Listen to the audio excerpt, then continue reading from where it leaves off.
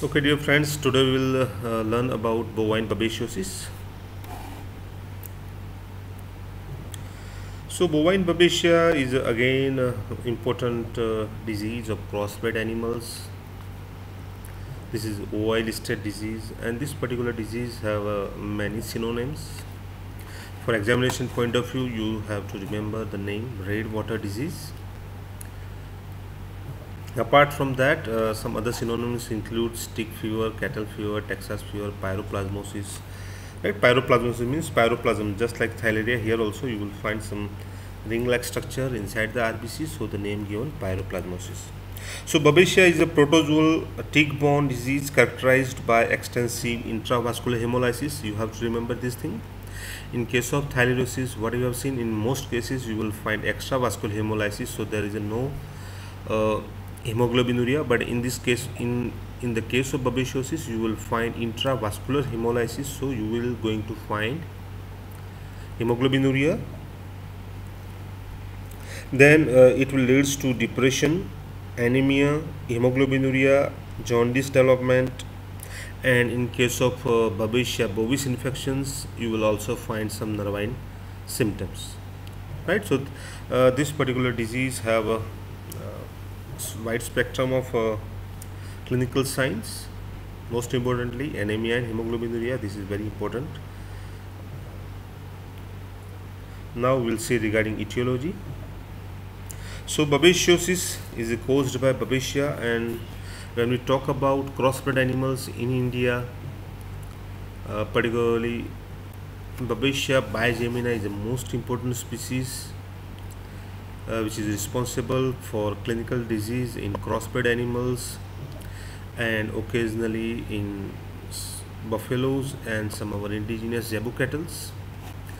Uh, in India, few time uh, few years back, generally Babesia bovis was not reported in India, but there are some reports that Babesia bovis is present in India and uh, it may be another important uh, species of Babesia which is responsible for disease in cattle. Right? So this particularly Babesia genus have uh, almost you can say hundreds of Babesia species but all these species are actually host specific. So mainly they are actually host specific. So we will not discuss all these hundred species. We will only focus on Babesia bigemina and Babesia bovis which is mainly associated with the disease in bovines. And here you can see that we have used one uh, words large and small right? So Babesia organisms are typically classified as a large if the diameters are between 2 to 4 micron and we will say they are small Babesia if the diameters are less than 2 micron with routine light microscopy right? So if we say this is large babesia this large organism means the diameters the diameter is between 2 to 4 micron and, and if we say this is small babesia it means the diameter is less than 2 micron right? Okay.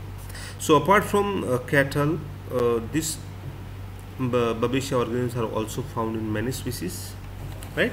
In case of horse babesia caballi they are large babesia means the diameter is almost up to 5 mic uh, 4 micron. In sheep and goat you will also find some babesia organism but we will not discuss in much detail about uh, these particular organisms. In dog babesia canis and babesia gibsoni uh, again these are the important pathogens. Babesia canis is considered as a large babesia while gibsoni gibsonia considered as a small babesia in cat also you will find variety of uh, Babesia organisms right? So we have already discussed that almost more than 100 uh, types of uh, 100 species of Babesia have been identified in animals but we will mainly focus on Babesia bigemina and Babesia bovis. Now host as we have discussed uh, cattle particularly crossbred cattle uh, generally you will find clinical disease in crossbred cattle but I have seen some uh, cases of babesiosis typical hemoglobinuria in buffalo also as well as our indigenous cattle, kankrej and gir, uh, cow are also susceptible for this particular infection. So generally cattle and buffalo are prime host uh, when we talk about Babesia bigemina and Babesia bovis. Sheep and goat we have already discussed uh, there are many species of uh, Babesia which are responsible for disease in sheep and goat as well as horse, dog and cat they are also susceptible for Babesia infection. But we will not discuss uh, much detail about this uh, species. We will mainly focus on crossbred cattle, cattle and buffaloes. Right? So particularly for buffalo you have to remember one thing. Young cows have a degree com comparatively high degree of immunity. And generally uh, they are resistant to infection for almost six months but uh, this is not always true for babesiosis particularly in case of cows. The cows have a immunity mainly due to antibodies which is received from the colostrum. And some age specific factors are also giving uh, immunity to buff uh, to babesias. But particularly in case of cows particularly very young cows you have to remember that there are one other uh, conditions uh, particularly uh, young cows when they have freely accessible water.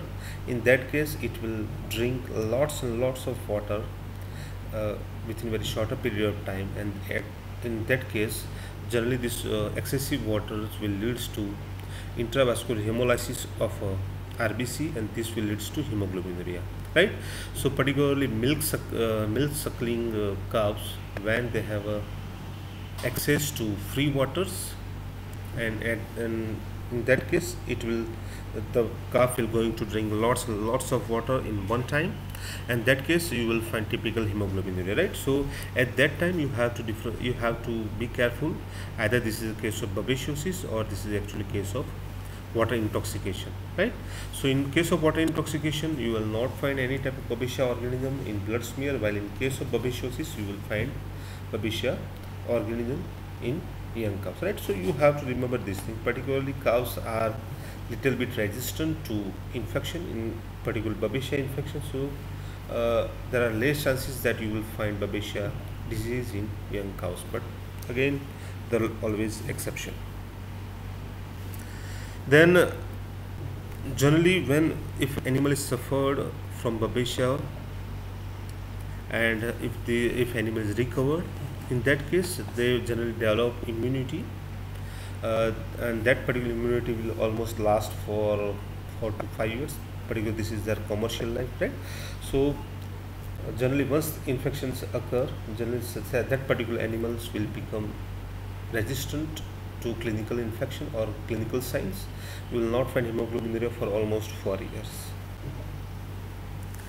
Then another important thing for babesia is our indigenous cattle, particularly our when we talk about uh, India, when we talk about Gujarat, particularly kankrej animals and gir animals, they are little bit resistant to the ticks which are responsible for transmission of this disease right?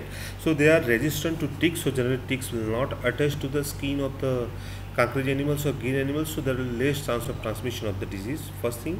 And second thing uh, they are also resistant to effect of Babesia bovis and Babesia bigemina as compared to crossbred animals. I am not saying that this disease is not seen in our indigenous cattle particularly kankrej and gir animals right? But they are little bit resistant as compared with the crossbred animal. I have seen cases uh, of babesiosis, very typical clinical cases of babesiosis in Kankrej bullock, Kankrej cow as well as gir cow. Right? So infection is possible but they are quite, uh, when we compared with the crossbred animals, they are little bit resistant. Now transmission So generally these particular Babesia organisms are transmitted by ticks. Babesia bigemina and Babesia bovis are transmitted by Rhipicephalus ticks. And here uh, the important thing is uh, there will be trans-ovarian transmission, right? So here what happens generally uh, inside the ticks these particular organisms will infect ovaries and when this uh, female will lay the eggs in that case eggs are already contain infection so the developing uh, ticks will have infection inside their body and ultimately they are responsible for transmission of this disease. So in this case you will find trans transmission. In case of uh, you will find transstadial transmission means only one stage they are infected during the developing stage and the next stage are responsible for transmission of this disease. But in this case ticks uh, eggs are infected right so they are responsible for transmission of this disease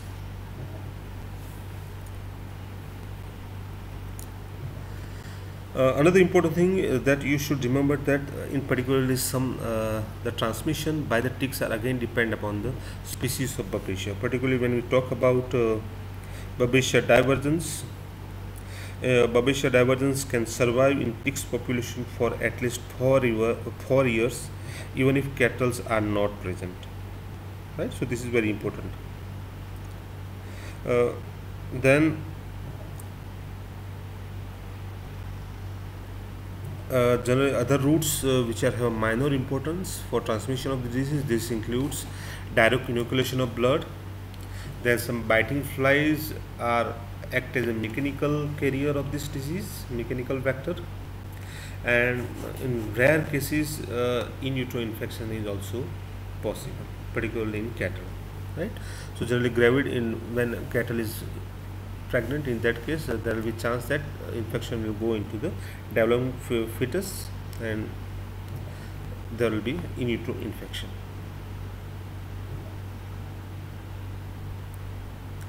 so here uh, I have mentioned some species and their vectors as well as host right but you but you have to remember particularly Babesia bigemina and bovis there are many other important species particularly that affect either horses, uh, dog, cat or other domestic animals. But in this lecture we will not discuss in much detail. Here you can see this is Babesia bigemina, host are cattle and buffalo and these are the vectors which are responsible for transmission of disease in case of Babesia bovis, cattle, buffalo and deer and these are the uh, ticks which are responsible for transmission of this disease. Then Babesia caballi, Babesia canis, divergens, equi. There are many important species of Babesia that we will not discuss in this class. In, in case of uh, Babesia gibsoni are quite prevalent in dog population of India.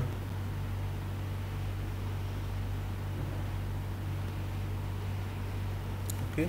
Now pathogenesis, uh, pathogenesis of uh, Babesia.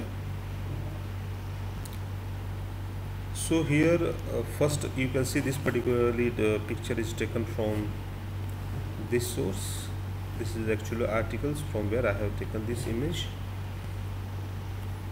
so here there are actually in particularly life cycle or in pathogenesis of Babesia bovis you can see there are uh, two type of development one development or uh, one part which is seen in uh, cattle and another part are generally seen in the ticks. Okay? So here we will start with the cattle. Suppose uh, the cattle is actually have infections in their body. So here what happen the babesia organisms or you can say the sporozoids sporozoid means infective stage of a babesia. So these sporozoids invade erythrocytes. Here you can see they invade the erythrocytes okay so uh, babesia organism will enter inside the rbc and they will transport into the trophozoites. Tropozoid means you can see these are the slightly elongated structures while this is actually round structure, right? So trophozoites are round structures. This is a ring shaped structures, right? And inside the ring shaped structure you can find this particular material is probably uh, chromatin material. Okay, so here what happen now uh, this particular trophozoites will go towards binary fissions or you can say asexual uh, asexual reproductions and these particular tropozoids are converted into two merozoids. Here you can see this tropozoid. Tropozoid is a ring structure, round structure, right? So they will divide uh, by binary fissions and they are converted into two merozoids, right? So these are the two merozoids.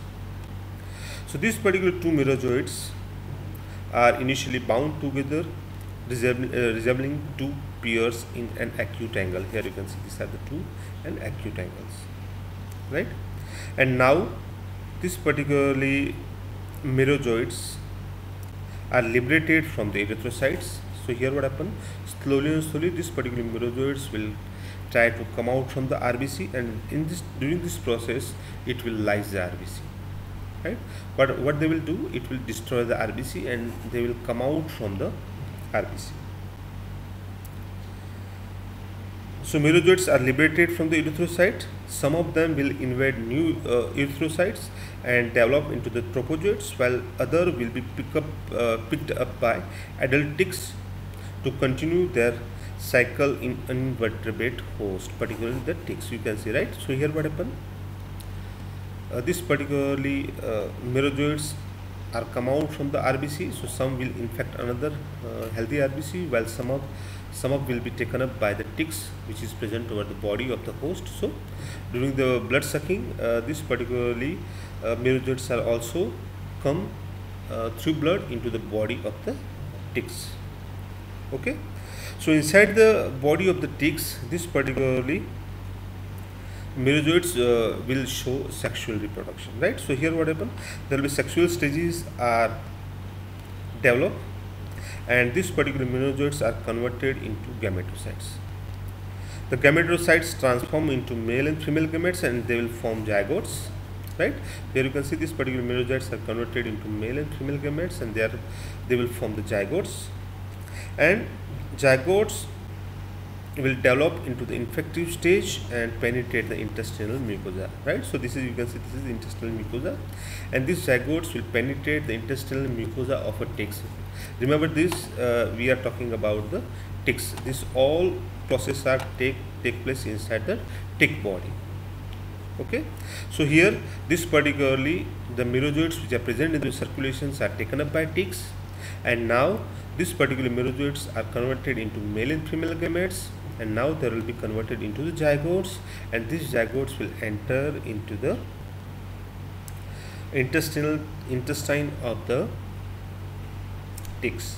And inside the ticks uh, this particularly uh, body will multiply and they will develop kinetes right? So you can in simple words you can say these are the immature babesia so this Im immature babesia will multiply inside the intestinal epithelium and they will rupture this intestinal cell and they will come out uh, they will come out from the uh, intestinal cells and it will go into the ovary. This is ovary of the ticks right? So it will go into the ovary and it will infect most of the uh, uh most of the intestinal sorry most of the ovarian cells. And during this process when they come out from the intestinal intestinal tract they will go into the hemolymph uh, of the ticks and they will then it will penetrate into the ovary as well as some other organs of the body. In ovary, these embryo cells are injected by the kinetes, right? So when these ovaries are infected, it means this is trans ovarian transmission. Okay.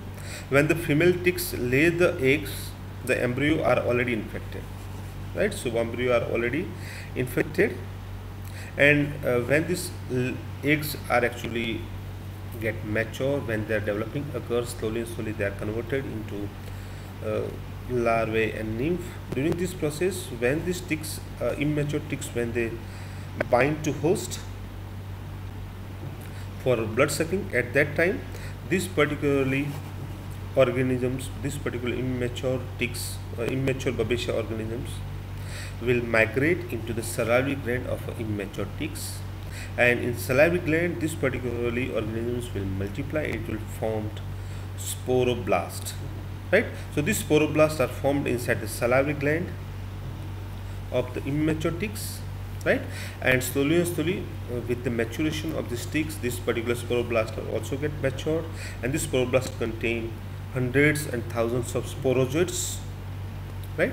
So here what happened? Already these particular organisms are present inside the salivary gland. And now when this ticks when they again attach with the host uh, at the time of blood sucking at that time this particularly uh, sporozoites will be injected inside the blood of a host uh, blood vessels of the host and now this particular sporozoites will again enter into the RBC and again same cycle will be repeated. Right? So this is a, a life cycle of Babesia bovis and almost similar life cycles is also present for Babesia bigemina right? So you have to remember there are two phases one is a seen in host of the body and another is seen in ticks. Okay uh, then here what happens so within the rbc inside the rbc generally this particularly uh, sporozoites will enter they will convert it into trophozoites and ultimately it will multiply and they are converted into merozoites so when these merozoites are come out from the rbc it will leads to lysis of the rbc so here what happen rbc are destroyed the rbc cell membranes are destroyed inside the blood vessels. So here what happen when these rbc are destroyed hemoglobin will be released inside the blood vessels right? So generally what happen what uh, this particularly free hemoglobin initially taken up by one special molecule known as hepatoglobin haptoglobin right? So a special molecule is present inside the blood uh, inside the plasma. So these particularly haptoglobins are taken up all this free hemoglobin right? But again everyone have some limitation right? So these haptoglobins have some limitations and they can uh, they can uptake only 150 mg per dl of hemoglobin. After that this particular haptoglobins will get saturated and they are unable to take take up extra hemoglobin right? So now whatever the when more and more number of RBC are lysed by this Babesia organism in that case free hemoglobin will be released. And now these haptoglobins are already saturated so this particular free hemoglobin will enter into the it will go into the kidney and ultimately it will filtrated by glomeruli right? So slowly and slowly this hemoglobin will uh, easily get filtered through kidney glomeruli. It will enter into the urine and slowly and slowly you will find typical hemoglobinuria right? So here in, initially what happened? Initially serum or plasma color will be changed and then after urine color will become red right? So you will find hemoglobinuria. So initially you will find increased concentration of uh, hemoglobin in blood this is known as hemoglobinemia and then after uh, this particular hemoglobin free hemoglobin will enter into the kidney into the urine and you will find hemoglobinuria so then after you will find hemoglobinuria right? So depending upon the destructions of rbc hemoglobinuria uh, you will find a severity of the hemoglobinuria and sometimes it become completely chocolatey uh, in color. Urine become completely chocolatey in color then apart from that uh, these particular parasites are also responsible for secretion of one typical enzymes known as proteases. And these particular proteases are uh, responsible for activation of uh, hypotensive agents. Hypotensive it means they decrease blood pressure right? As well as uh, they also activate bradykinins which are responsible for vasodilation. So ultimately what happened? Due to decreased blood pressure as well as due to vasodilation majority of the rbc are get congested they are get accumulated inside the small small capillaries rather than large veins right? So again what happened? Majority of the rbc majority of the blood uh, majority of these rbc are get accumulated inside the small small capillaries. So generally uh, larger blood vessels are devoid of rbc so again it will elevate anemia. Here anemia has already occurred because these merozoites when they are come out from the RBC they are already destroying the RBC so number of RBC will be decreased right? As well as uh, the healthy RBC or you can say the non-lysed RBC are already get uh, accumulated into the small capillaries so ultimately it will elevate the anemia. Then uh, this particularly uh, organisms or this particularly parasitic proteases will also hydrolyze the fibrinogen right? So this particularly soluble fibrinogens are get accumulated inside the circulations and ultimately it will increase the coagulability of the blood as well as it will increase the viscosity. And ultimately you will find extensive plugging of a small small blood vessels with the RBC right? But here uh, generally one important thing is that in case of babesiosis there been no cross linking of the fibrinogen right? There will be no cross linking of the fibrin so you will not find DIC like lesions disseminated intravascular coagulopathy like lesions right? Because there will be no cross-linking so ultimately this particularly hydrolyzed fibrin are remain insoluble state. In case of uh, cross-linking it become insoluble and you will find microthrombi inside the vasculature but this is not a feature in Babesia. Then another important thing that you should remember in case of bovine babesiosis uh, is this particular in case of bovine babesia, bovine uh, babesia, particularly babesia bovis infection, this RBC are actually get accumulated inside the capillaries of a brain, particularly in gray matters, in gray matter of the brain, right? So here what happen, uh, most of this capillary get severely engorged with the RBC and these particular RBC are also infected with the Babesia bovis. So to excessive uh, accumulation of RBC inside the blood vessels, ultimately it will block the blood flow and it will decrease the tissue perfusions and this will lead to ischemia. Uh, and due to this ischemia, there will be no proper uh, supply of oxygen to the neurons. So ultimately neurons will go towards that and you will find neurological sign as well as apart from neurological signs you will also find vascular congestions vasodilations which we have already discussed and uh, due to this uh, hemolysis and all other factors it will ultimately develop metabolic alkalosis in cattle right? So due to anemia due to neurological signs due to metabolic alkalosis ultimately this will lead to death of the animal right? But again you have to remember this metabolic alkalosis are again species specific particularly Babesia, Babesia bovis are responsible for metabolic alkalosis while some of these species are responsible for acidosis also right? So you have to remember this thing also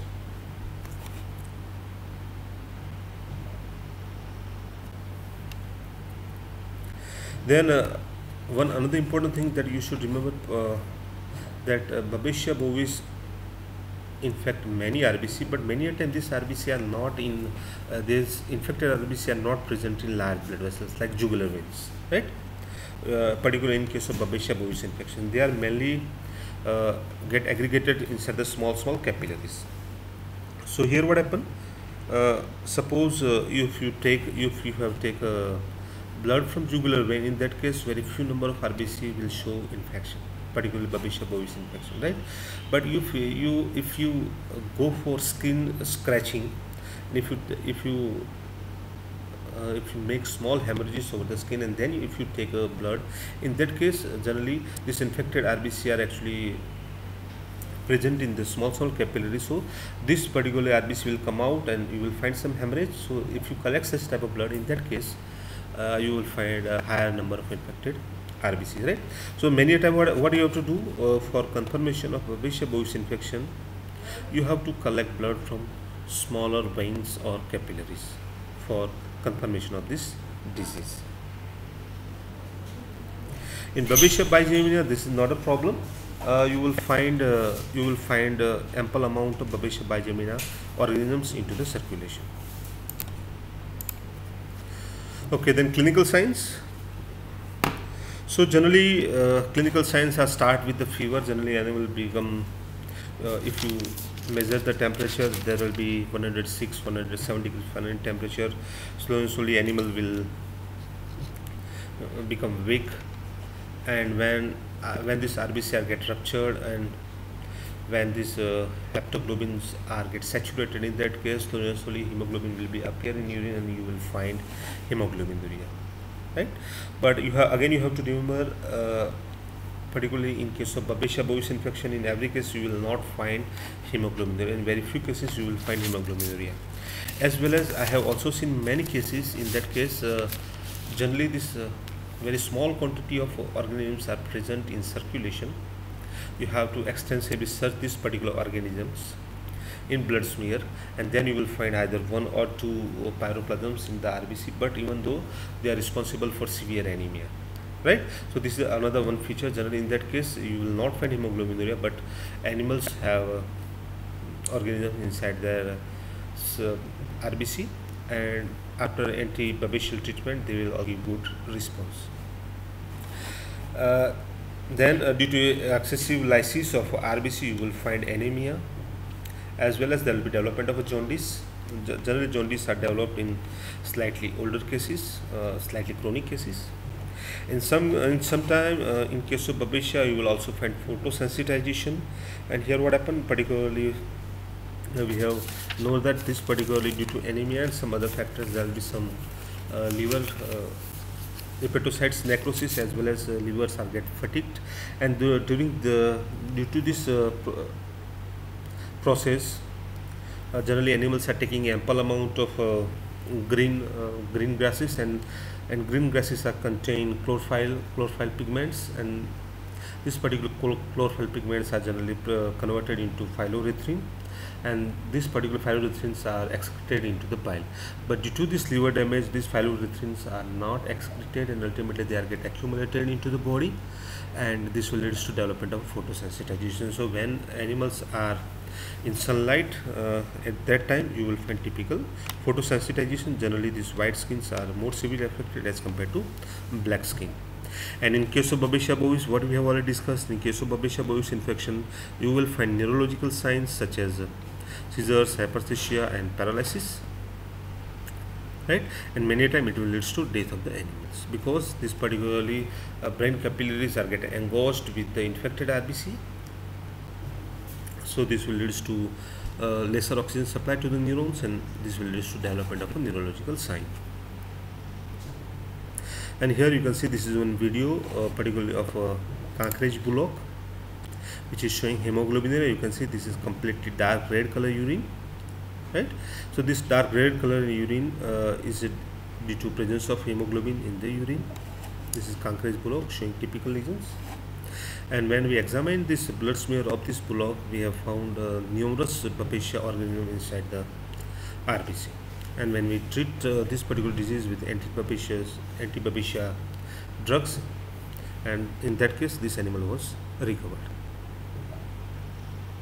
here you can see uh, in clinical pathology. Uh, this is typical RBC of cattle and inside the RBC you will find such type of uh, paired organisms. Sometimes it may be single sometimes it may be paired right? So this type of paired organisms are present inside the rbc in case of babesiosis. Many a time single piroplasms like this are also present but when we compare with the theileria generally these babesia organisms are a little bit larger than theileria now gross pathology. So when you uh, when you go for postmortem examination of uh, animals which died from babesiosis in that case uh, generally kidneys are diffusely dark red brown in color and generally urine are also dark red in color or chocolate in color right? So whenever you examine urinary bladder urinary bladder are generally filled with the dark uh, dark red to chocolate color urine as well as kidney also become completely dark in color. Because mainly uh, whatever the uh, hemoglobin which is filtered through kidney uh, they are also get accumulated into the tubular epithelial cells and ultimately this will gives typical color to the kidney. Then uh, you will find uh, many of these uh, mucous membranes will be very pale in color right? So they become anemic because of anemia pale in color. As well as you will also find if in particularly long-standing cases you will also find jaundice then uh, you will also find enlargement of the spleen, splenomegaly, lymphadenopathy, then pulmonary edema like theileriosis. Here also you will find pulmonary edema and hemorrhages. Liver will also become dark in uh, dark red in color due to congestion. And here what happened particularly this majority of this blood vessels contain free hemoglobin right inside the plasma.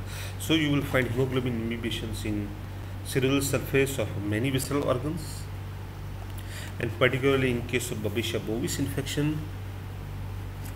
The gray matters particularly gray matter blood vessels are severely uh, congested uh, with the RBC so there will be quite difference between the white matter and gray matter. There will be striking difference right particularly of the color and this particularly give little pink color to the gray matters while white matter is generally white. So uh, this such type of lesions are known as cerebral flush. This is known as cerebral flush. Here you can see this is post-mortem examination. Again this majority of these gross photographs are taken from C.L. Davis Foundation page. And you can see this is kidney and this kidney have become completely dark in color due to excessive accumulation of hemoglobin pigments and another thing here you can see this majority of this uh, cerebral surface of the visceral organ surface are actually showing a little bit pinkish uh, pink area pinkish discoloration or reddish discoloration due to hemoglobin imbibition here you can see this is another pictures taken from uh, St. Uh, Davis Foundation page and here you can see this is multilobulated kidney so this is very characteristic feature of a bovine kidney. They are dark in color due to presence of hemoglobin pigments. As well here you can see this particular urine is taken from urinary bladder and you can see the color they are again chocolatey due to presence of hemoglobin. So hemoglobinuria and dark red color kidney. So if do if you, if you have uh, blood smear examinations then no problem. You can easily confirm such type of disease but if you uh, if you do not have any history in that case whenever you find such type of uh, kidney a particular dark color kidney and hemoglobin in that case there are multiple differential diagnoses like uh, phosphorus deficiency in case of uh, recently parturited animals and then water intoxication in case of young animals many a time uh, snake bites are also responsible uh, in case of uh, sheep uh, copper poisonings are also responsible for development of such type of disease. In some particular areas when leptospira are predominant in that case you will also find such type of lesions right? So you have multiple differential diagnosis whenever you find such type of lesions. Here you can see this is very characteristic feature of Babesia and you can see this is white matter and this is gray matter. So here these gray matters have little bit pinkish discoloration and this is due to presence of uh, infected RBC inside the blood vessels. They are get engorged inside the blood vessels so you, they will give uh, such type of pinkish discoloration. Here also again you can see very striking difference between the white pulp and red pulp this is white pulp and this red pulp have typical pinkish uh, appearance so this is known as cerebral flush and this is very characteristic features of babesia. This is you can say this is pathognomonic for babesia. Now microscopic features generally this babesia bovis infections are uh, this capillary within the brain kidney skeletal muscles heart contain parasitized erythrocytes. Uh, this is mainly true for babesia bovis as well as in some cases babesia bigemina uh, particularly but generally brain capillaries are uh, parasita they are generally congested with the Babesia bovis infected RBC. Then uh, you will find variety of lesions, microscopic lesions in kidney, right? So here you will find variable severe hemoglobinuric nephrosis. It means uh, you will find uh, congestions, focal hemorrhage, hemoglobin cast in tubular lumen, uh, as well as uh, this epithelial cells of the tubules will also show pigmentation as well as necrosis.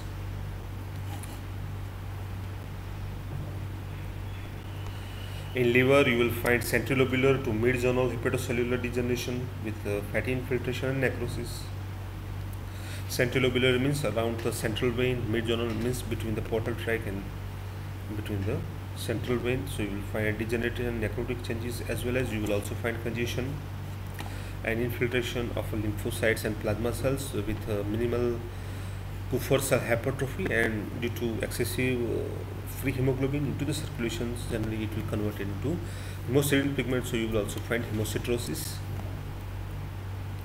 The spleens will also show excessive pigmentations as well as erythrophagocytosis particularly infected RBC are also destroyed inside the spleen and you will also find uh, very prominent uh, germinal centers and inside center of the germinal centers will show karyorrhectic materials necrosis.